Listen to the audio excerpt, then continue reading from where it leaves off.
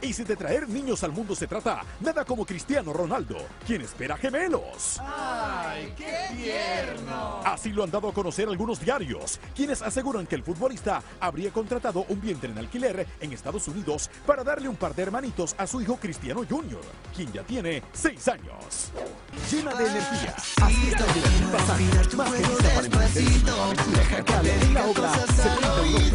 El este video cuenta ya con más de 34